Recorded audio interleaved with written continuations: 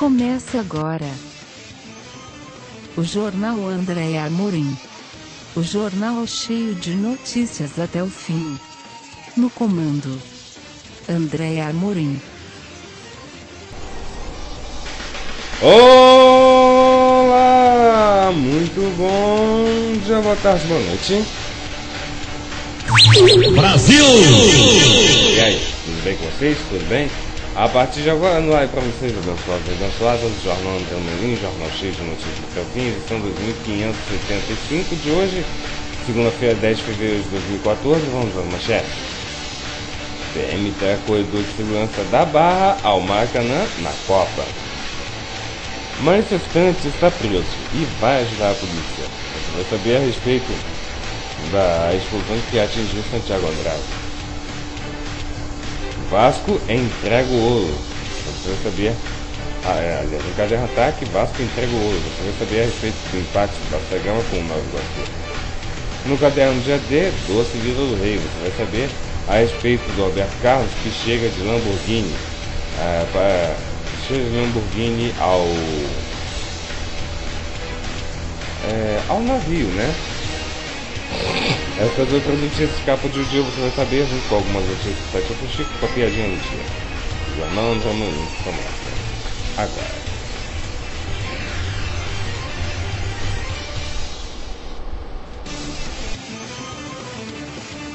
Estas e outras notícias você vai saber logo mais no Jornal André Amorim, que já está no ar para você. O Dia é um jornal que você abre e é todo seu. Dia agora está no formato que você prefere, com muito mais informação. Cobrindo todo o Rio de Janeiro, de ponta a ponta. O que interessa a você está nas páginas de O Dia, um jornal combativo e independente. Um jornal para chamar de seu. Nenhum jornal é tão Rio como O Dia. O Dia, como o Rio gosta de ler e ver. Compre o jornal O Dia. Como o Rio gosta de ler e ver. De segunda a sábado, R$ 1,20. Isso mesmo, R$ 1,20. E aos domingos, o jornal Dia custa o dobro, R$ 2,40. Isso mesmo, R$ 2,40. E o site de O Dia Online é o www.odia.com.br. Repetindo, www.odia.com.br. O dia, como o Rio gosta de ler e ver.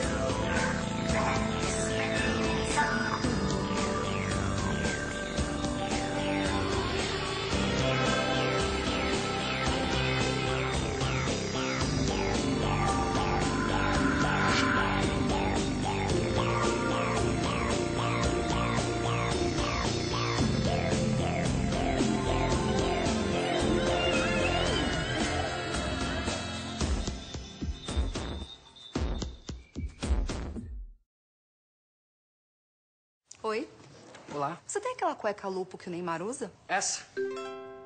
Ah. É. Gente, tô passada. Oi. Olá. É, Sabe aquela meia do Neymar? Seria essa? É. Seria. Que simpático ele, né? E aí, brother, tem aquela cueca sexy do Neymar? Essa aqui? Lupo, a marca do Brasil e do Neymar Júnior. Sabe qual o segredo para as pernas mais poderosas do Brasil estarem sempre lindas neste verão? Meu segredo? Nova Vênus Malibu da Gillette. Conheça a nova Vênus Malibu da Gillette. São três lâminas com a tecnologia Gillette, agora desenhado para as mulheres, para uma depilação mais rente em uma passada. Elas comprovaram a diferença. E você? Tenha pernas poderosas com a nova Gillette Vênus. Eu sempre sonhei com um marido bonito, alto, inteligente. Você sempre sonha com o melhor. Com a casa é a mesma coisa. Chegou a Pique Ultra Cloro Gel, o primeiro cloro em gel que adere até em superfícies verticais, removendo as manchas. A espuma ativa do detergente limpa melhor e deixa um cheirinho de limpeza. Afinal, você merece o melhor. Vamos. Novo Arpic Ultra Cloro Gel. Mais que cloro, o cloro dos seus sonhos. Piadinha. Piada lógica do Joãozinho. A professora pergunta aos alunos: Se eu for à feira e comer quatro peras, três bananas, dez laranjas e uma melancia, qual será o resultado? Do fundo da sala, Joãozinho grita: Uma dor de barriga! Ai, ai. As notícias, por favor.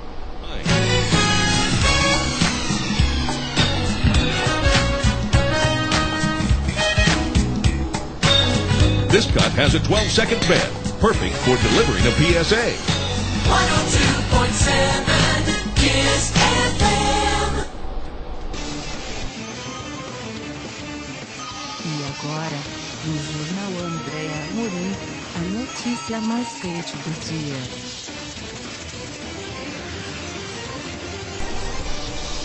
PM terá corredor de segurança da Barra ao Maracanã na Copa.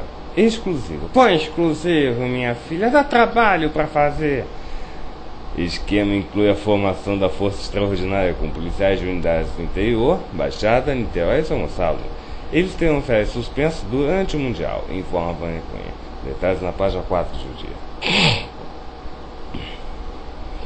Na página 5 de O Dia, a Avenida Rio Branco enfrenta testes de fogo no primeiro dia útil após mudança no tráfego. No caderno de AD, em família. Mulheres defendem personagens de Bruno Marquezine que provocam os homens e que deixam o noivo louco de ciúmes. Na página 6 na coluna de Léo Dias, ex-José de Camargo, Dona Zilu, comemora 3 anos de namoro com jantar romântico. Na página 3 na coluna de Mauro Ferreira, Raimundo recupera a antiga pegada em novo CD de inéditas. Na página 2 da coluna Estação Carioca de Fernando Molica, a agressão cinegrafista tem cúmplices involuntários. Detalhes na página 2 do dia. Na página 5 do dia, meteorologistas avisam que calor vai aumentar e que só deve chover no fim do mês. Na página 9 do dia, grupo com pistola, metralhador e fuzil executa empresário à luz do dia em São João de Meriti. Na página 11 do dia, PM do BOP, que fazia a segurança de José Júnior do Afroreg, é morto a tiros em Nova Iguaçu. Na página 13 do dia, a listão do emprego traz hoje 20.859 vagas em concurso da União do Estado e do município. Na página 12 do dia, período de envio do imposto de renda está chegando. Veja na página 12 do dia como se planejar para evitar problemas. Na página 15 do dia, remédios contra piolho podem causar reações alérgicas e só devem ser usados com prescrição. No caderno de AD, Doce Vida do Rei, Roberto Carlos chegou de Lamborghini para a décima edição do Cruzeiro Emoções em Alto Mar. Ele contou que está escrevendo sua própria biografia. Sua própria biografia. Vou contar tudo. Detalhes na página 8 do dia. Manifestante está preso e vai ajudar a polícia. Indiciado após a explosão de rojão que feriu gravemente cinegrafista durante a manifestação, Fábio Raposo, de 22 anos, foi preso ontem na casa da mãe no Recreio dos Bandeirantes. Ele afirmou que conhece de vista o suspeito de fazer o disparo do artefato e prometeu colaborar na confecção do retrato falado. Profissional da Band continua internado. O, o cinegrafista Santiago Andrade. É. Detalhes na página 3 do dia. No caderno ataque, Fluminense uniu o rival Flamengo em rede social. Chocolate amargo. Ainda no ataque, Vasco entrega o ouro. Gigante venceu o Nova Iguaçu é, com gol contra, né? Até o último minuto, mas cedeu um empate por 1 a 1 e deixou escapar a liderança do Campeonato Carioca. Na página 5 do dia, a Avenida Rio Branco enfrenta teste de fogo no primeiro dia útil após mudança no tráfego. E agora, as notícias do site UFO Chico. BBB 14. Aline, Júnior e Vanessa estão no paredão. O oitavo paredão do BBB foi formado ontem, domingo. O oitavo paredão do Big Brother foi imunizado na noite é, de hoje, domingo dia 9. De ontem, domingo dia 9. Aline, que já estava automaticamente no paredão ao atender o Big Fone na noite de sexta-feira, dia 7, revelou-se o que significava o bracelete preto dado a Letícia, seu, dado a Letícia, seu voto. O Anjo Júnior deu imunidade para a Cássia, que fez a prova do anjo com ele. O líder Marcelo, sem surpresa, indicou Júnior, justificando com a briga após a festa seus princípios e jogo. Eu passei com essa pessoa uma situação desagradável. E, ao indicar outro, eu estaria sendo injusto comigo mesmo. É o Júnior. Pela casa, Vanessa e Franciele ficaram empatados com cinco votos, deixando a escolha para o líder Marcelo, que optou por Vanessa. Confia como foi a votação. Letícia levou um voto da Aline como bracelete. Ângela votou em Clara. Vanessa, Tatiele, Letícia, Clara e Rony votaram em Franciele. Franciele, Cássio, Walter Slim, Diego e Júnior votaram em Vanessa, empatando o jogo. O líder Marcelo optou por Vanessa. BB14 Grupo Laranja vence prova da comida e finalmente sai da Sibéria. Os brothers comemoraram muito a ida para a Casa Grande. É, ontem, domingo dia 9, os brothers tiveram uma prova da comida, a bomba de óleo. Após uma disputa acirrada, o Grupo Laranja venceu a competição.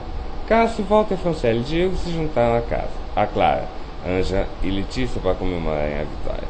O grupo se abraçou, pulou de alegria e se jogou no chão, que estava cheio de óleo na, da prova. Com o resultado, elas devem deixar a Sibéria e ir para a Casa Grande. Cada um de vocês terá 1.500 estalecas para gastar. O grupo russo recebe 750 estalecas cada um, anunciou Vinícius Valverde. BB14 Briga de Marcelo e Ângelo durante festa metal agita a noite dos brothers. Os dois brigaram e depois de muita discussão, eles acabaram fazendo as pazes. Mais uma festa a agitou a madrugada dos brothers. Dessa vez, os confinados curtiam a festa metal. Clara atacou de guitarrista ao lado de Vanessa e Aline. Na sequência, a modelo assumiu o vocal. Durante a noite toda, os participantes ficaram se revezando nos instrumentos. Depois da crise de ciúmes de Marcelo na tarde de sábado, Angela reclamou que o brother não estava olhando para a cara dela e chegou a afirmar que a festa estava um saco. O paranaense que ficou parte da festa isolado também recebeu muitas críticas de Júnior, que disse que o problema do administrador é, é ele e não as mulheres da casa. Marcelo e Ângela até ensaiaram uma reconciliação, mas a discussão de relacionamento terminou em choro, gritaria e xingamentos. Aline consolou a advogada e Cássio se solidarizou com o paranaense que diz estar cansado de ser educadinho. No final da festa, a Sister resolveu procurar o administrador e eles falaram a paz. A festa também teve clima de romance. Letícia e Júnior trocaram um beijo na pista de dança. O casal chegou a ter uma discussão de relacionamento, mas, minutos depois, selou a paz e acabou dividindo o edredom. Na Sibéria, a noite terminou quente, com Franciele e Diego movimentando o edredom. Rony e Tatiele também tiveram um momento caliente. Tatiele pediu que Clara e Vanessa se beijassem e acabou trocando o selim com as sisters. A Aline também se rendeu às sisters e confessou que gostaria de vê-las se beijando. Em alta com as mulheres da casa, Clara e Vanessa tiveram uma lista das sisters que pegariam. Ou fizeram, sei lá, mas enfim, né? Casamento da ex, RBD, Anaí vai ser transmitido na TV. A cantora se casa em maio com o governador mexicano. O casamento da ex-RBD Anaí com o governador do estado mexicano de Chiapas, Manuel Velasco, vai acontecer em maio deste ano e, segundo a imprensa local, o evento será todo patrocinado pela, pela Televisa. A emissora de televisão mexicana tem a intenção de transmitir o casamento ao vivo. Segundo o site local, a única coisa que os noivos pagarão serão seus trajes de noivos, porque a cerimônia religiosa e a festa será responsabilidade da Televisa. Roberto Carlos conversa com a imprensa e fala sobre biografias e beijo gay. Não me chocou. Pessoas que se amam beijo na boca, declarou. O Cruzeiro Emoções em Alto Mar comemora seu décimo ano e o sucesso do projeto é inegável. Um balanço feito pela produção informa que em 2014 o projeto fechou edição com lotação esgotada e uma lista de espera com mais de 300 nomes. Na tarde de domingo, dia 9, Alberto Castro, 72 anos, recebeu a imprensa para uma conversa no Teatro Transatlântico MSC Preciosa, é, atracada em Búzios, no Rio de Janeiro. A coletiva contou ainda com a presença de cerca de 400 fãs, escolhidos através de um sorteio realizado pela manhã. Uma ação inédita, onde já admiradores tiveram a chance de acompanhar o encontro de seu ídolo com jornalistas de todo o país. O rei falou sobre as novidades que prepara para 2014 e respondeu uma longa lista de perguntas, sem fugir dos assuntos mais polêmicos com a questão das biografias não autorizadas e arrasou dar sua opinião sobre a primeira exibição de um beijo gay numa novela da TV Globo. Questionado sobre a exibição do beijo gay entre os personagens, Matheus, que fez Félix, e Thiago Fragoso, que fez Nico, na novela Amor à Vida. Não me chocou, foi feito com muita elegância. Não me chocou, pois vejo tudo como está na atualidade. Pessoas que se amam, beijo na boca. Os gays têm jeito essa felicidade, pois não causam mal a ninguém. Todo ser humano merece esse jeito de alegria que faz parte da vida. Sobre a polêmica questão das biografias não autorizadas, Roberto falou até sobre o livro Roberto Carlos em Detalhes, escrito por Paulo Celar Araújo e censurado pelo cantor. Ninguém vai contar a minha história melhor do que eu. O grande problema das biografias é equilibrar o direito da privacidade e a liberdade de expressão, e que isso seja solucionado de uma forma que não prejudique a outra. Eu vivo a minha história, ela é propriedade minha. Ainda sobre essa questão, Roberto afirmou que está trabalhando em sua autobiografia, garantiu que será transparente e deixou a possibilidade da história se transformar em um filme ou série de TV. Todos pensam que eu vou esconder algumas coisas. Não vou mesmo, vou escrever tudo. Ninguém vai contar as coisas que sofri, vivi, as alegrias e tristezas. Vai sair daqui a pouco. E aí só pode ser em seguida um filme, um seriado ou até peça de teatro. O que ele gostaria de fazer no navio? Tudo. Entregar o prêmio vencedor no karaokê, ir ao cassino, gosta da entrevista coletiva, estar com vocês. Isso. Está amando? Roberto desconversou, deu um sorriso e apenas respondeu: Não estou namorando, não. Disco novo. Este ano pretendo fa realmente fazer um disco de inéditas, o que não indica que serão somente músicas inéditas. Sempre escolho meu repertório partindo daquilo que as canções me causam. Para mim é muito importante cantar canções que têm a ver com a minha verdade. Roberto ainda contou que está trabalhando numa sequência de discos de remixes lançados em 2013. Queremos lançar um CD cheio, com mais cinco canções com arranjos de outros DJs. Viagem para Las Vegas. Sobre a proposta de levar fãs para uma viagem de sete dias em Las Vegas, Roberto recrutou seu empresário Dodge Serena para explicar detalhes do projeto.